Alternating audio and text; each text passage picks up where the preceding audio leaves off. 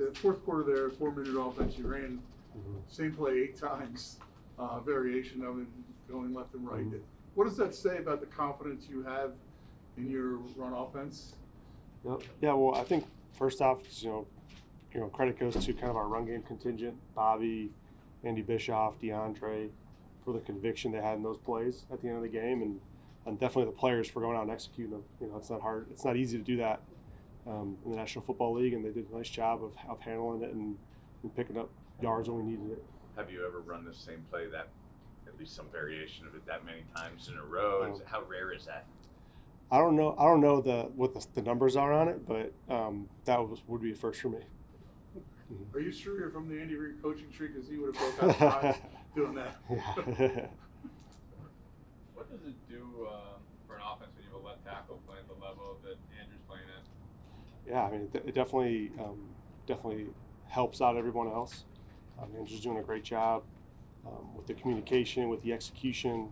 I think he's bringing young guys along as well. He's doing it from a leadership standpoint. Obviously, being a captain in the locker room, um, he's a great teammate. So I think all of that combined is what um, what what helps out a lot throughout the, in the offense, but throughout the team as well. Mike, how big is the Bellinger loss for you guys? yeah, we'll certainly um, we'll certainly miss him. You know, hope he gets back soon. But you know, we've had a next man up mentality this whole season, and the guys that will be stepping into those roles, well, you know, we'll expect them to, to jump right in and, and execute at a high level. And Coach Bischoff does a great job getting those guys ready. So um, you know, the, the rest of those guys will, will be right will be you know right up ready to go. Mike, I, I asked this, you know, knowing that everybody always wants more, but with, with scoring down around the league, are, are Mhm. you happy with where you, where you guys are in terms of that? Yeah, we, we evaluate the red zone each week, and you know, f- continue to find ways to get better at it. Um, you know, it, it's hard to score in the National Football League, but you got to find ways. And so, you know, however we can find ways to um, to make to make our guys score points, field goals. Obviously, you want the touchdowns, but you know, we evaluate that every single week, and um, looking for ways to improve. Well, on most of those eight plays we, we talked about, Josh pulled, I think, except for one. Uh, is that one of his strengths, and how did you feel like he played? Yeah, he did a he did a great job. Again, that next man up mentality. He jumped right in there, um, handled the cadence and um, some of our sound count stuff. Did a really good job with that. The communication, like that. There's a lot of things he had had to juggle, and he jumped right in, executed it when we needed to. Um, when everyone knew we were going to run the ball, you know, he was one of those guys out in front um, with with great, you know, fundamentals and all the things that we talk about each day. He, he did a nice job with that.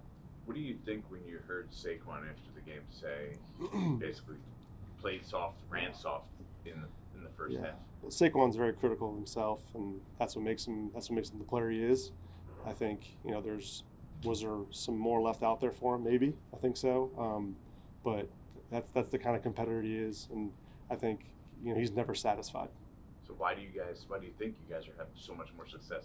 Not just that game, but just in general. numbers bear that in the second half of games this year compared to Yeah. the first.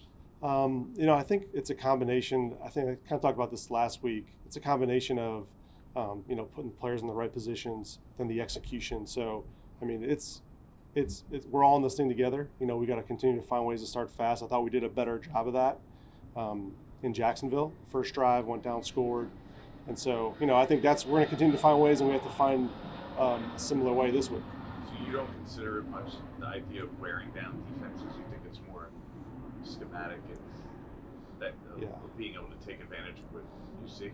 I think each week you go into it trying to score points and try and start fast every single week and try and um, you know score every time you touch the football. That, that's the goal. So um, you know I think over time you know how, how that fits with who we want to be as an offense, whether it's running it, whether it's throwing it, you know based on what the defense presents, you just got to be flexible. You guys have obviously faced some unique circumstances on the Mhm. road this year, going to London. It certainly was a pro Green Bay crowd. Mhm. Last week it was really a pro Giants crowd for most of it. Mhm. Going to Seattle, where the reputation Yeah. of the 12s kind of precedes them, how do you guys handle that circumstance? Is Yeah. there even more emphasis this week for you guys to go silent and try to Yeah. figure out how to deal Well, you definitely know you're going into you know uh, a loud environment, so you, you prepare the best you can, like we have been all week with with the crowd noise and that kind of stuff at practice. And Coach Daves does a good job of getting our guys ready for that. Mike, why, why, why is scoring down anything like across the league? Like, like what transfer fees are doing that makes it scoring like critical? Um, that's a good question. I haven't really studied the whole league. You know, we're really focused on ourselves right now um, and, and how we can get better. I think, you know, we're, that's what we're really focused on right now. Nick, on, uh, on Daniel's touchdown run, did he audible or take it upon himself because he saw something to make that play happen, or was that just the play call? Yeah, no, Dan, Daniel did a nice job there of, um, we, had, we had a run called and those guys kind of took it upon themselves to, um, to sneak in there down there in the inch, inch line. So it was, a, it was a good job of them being football players.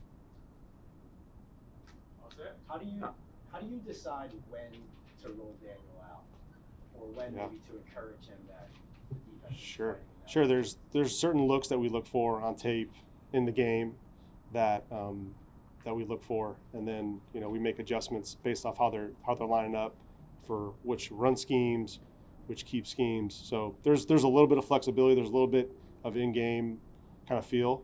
So um, that that's something that Dave's brought along, and that's that's been a good part for us. And Daniel's handled it really well. It's it's complicated, but um, those guys have, have done a good job with the looks that have been presented.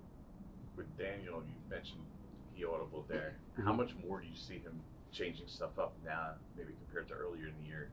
And now that he becomes more familiar with what you guys are looking for, what you guys are doing in this offense, Uh, can you say that again? how much more is, is he potentially audibly knowing that Yeah. he's probably more comfortable, I would assume, Yeah. in the offense than Okay. he was six, seven The yeah, I think in the offense, it's it's kind of built into the offense, run and pass options, pass and run options. Um, there's there's a, lot of flexibility. I mean, the, the quarterback has kind of the keys to the car from that aspect. So um, he does a good job handling it. Shea Tierney does an awesome job of, of getting those guys prepared, and the, you know the whole quarterback room is, is sharp and on top of it.